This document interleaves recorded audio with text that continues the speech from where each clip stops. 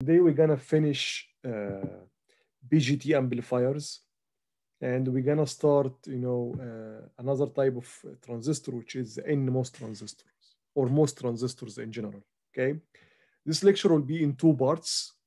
Okay, uh, in two uh, separate videos. So this is the first video, the first part, uh, in which I will just, you know, uh, complete BJT amplifiers. So one last topic that we should talk about is uh, the multi-stage amplification. Last lecture, we touched upon this. Uh, we said that we use common collector amplifier, which is which has gain equal almost to one, uh, when we want to interface uh, a, a source with high internal resistance to a load with very low resistance and we see that at that if we if we put in between a common collector this will enhance you know uh, the transfer of the voltage from the source to the load. Okay? And we said that uh, a practical situation is that this source is not you know a practical source like a voltage source you know or power source or power supply.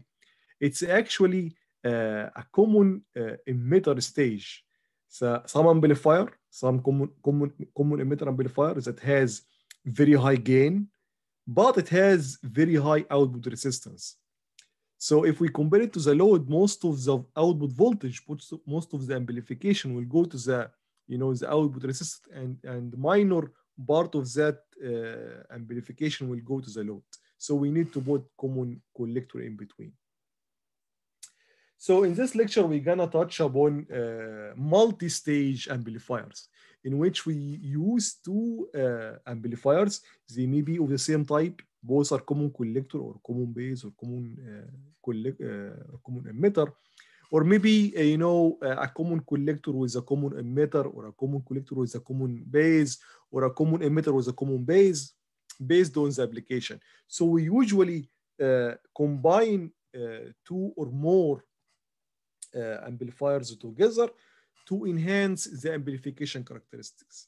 And when we say enhance the amplification or improve the amplification characteristics, we mean improve either AV, the voltage gain, or improve uh, the input resistance, make it high, or improve the output, res output resistance, make it low. Or maybe, you know, a combination of these three uh, uh, characteristics. Okay, so the first example we see here is actually a two-stage amplifier. Okay, it's called uh, cascaded common emitter amplifier. So we have here uh, two common emitters. Just look at this, uh, the first stage, stage one. So stage one here, it's a common emitter. Why? Because the input is at the base and the output is at the collector. So let's call this base one, collector one, because we have two transistors here. Then this output will be, you know, connected to the input of the second transistor, Q2. So here is B2. So output one is actually the input two. The input is of stage two. And then the output again is from the collector. So that's why it's both are common emitter.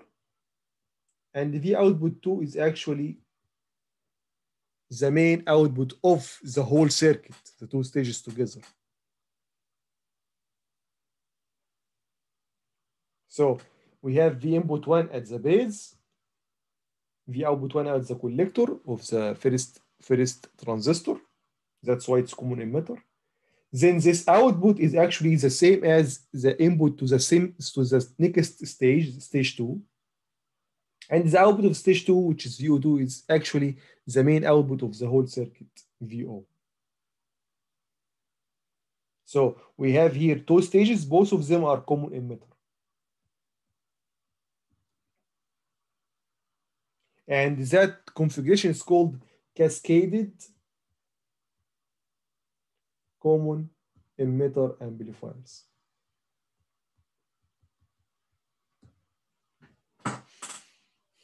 Okay.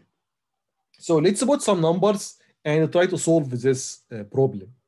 Okay. So R1 is 100 kilo ohms. So, and both stages are identical. So stage one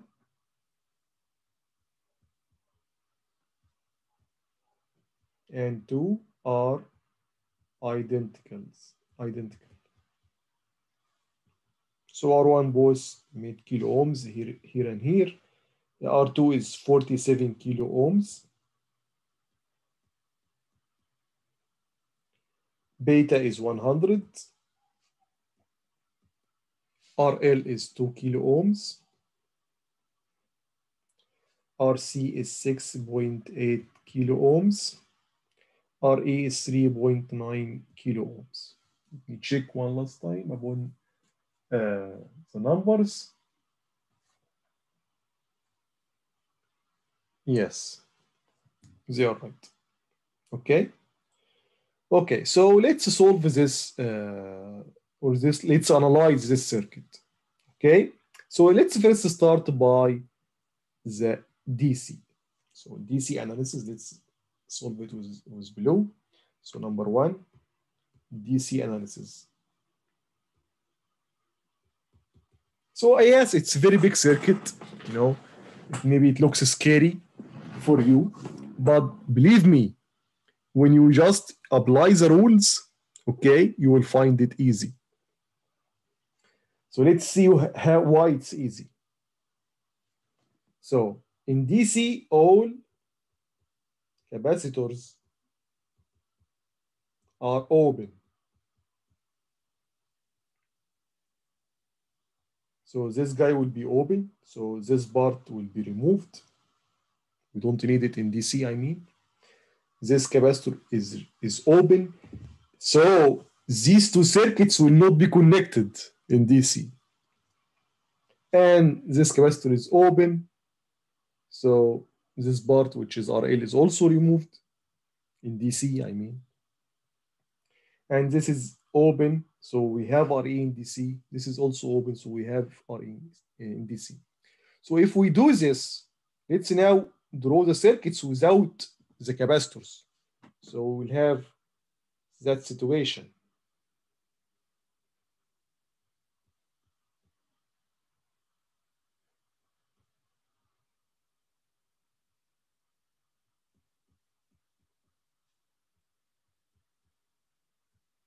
VCC and VCC by the way is equal to 9 volt. I forgot this.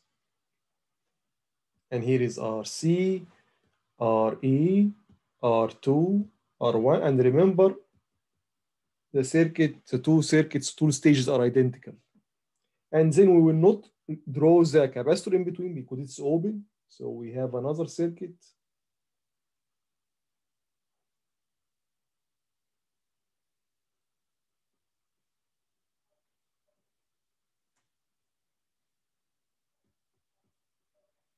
again RC, R1, R2, RE, and same transistor with the same beta equal to 100.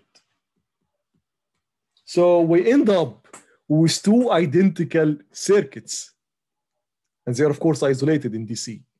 So just to solve one of them and the numbers that you get from uh, anyone will be of course applicable to the second, the second one.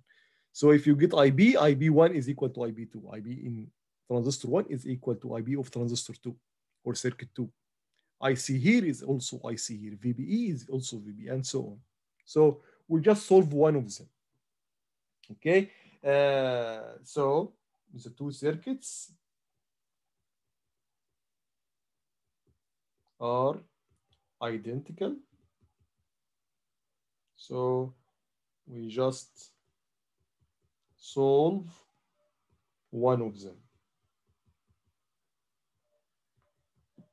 Good. And we learned how to do that. We usually make Thevenins, the Thevenin equivalent.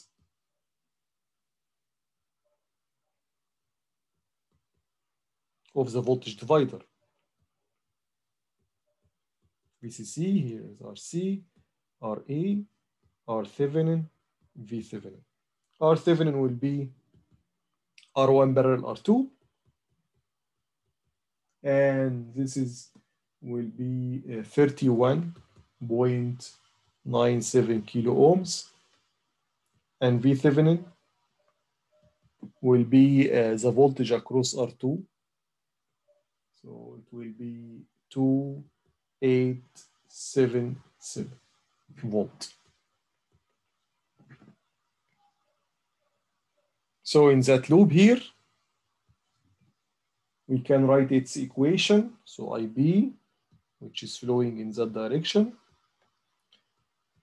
equal to V Thevenin minus 0.7 over R Thevenin plus beta plus 1 RE.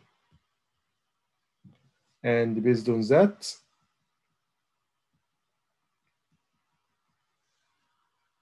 let's divide this into halves. Based on that, IB will be equal to uh, uh, 5 point, sorry, this is not 5, 5.11 microamps. Then of course IE or IC, because again, IE usually equal to IC, just forget inactive region, equal to beta IB, so it will be 0.516 milliamperes.